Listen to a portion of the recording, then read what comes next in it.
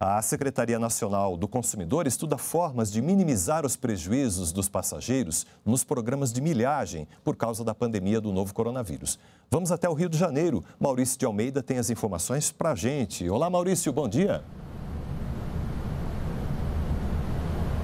Olá, Roberto. Bom dia. A Secretaria Nacional do Consumidor, que é ligada ao Ministério da Justiça, deu um prazo de 30 dias para que as companhias aéreas apresentem propostas para alterar as regras dos planos de milhagem.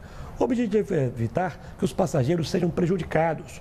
Uma das sugestões do governo é que as empresas façam o estorno sem qualquer penalização dos pontos utilizados para comprar passagens de voos que foram cancelados.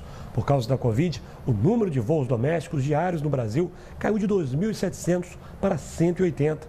A Secretaria Nacional do Consumidor também sugere a prorrogação dos prazos de validade dos pontos acumulados por pelo menos seis meses. Algumas companhias aéreas já anunciaram que vão flexibilizar as regras dos programas de milhagem.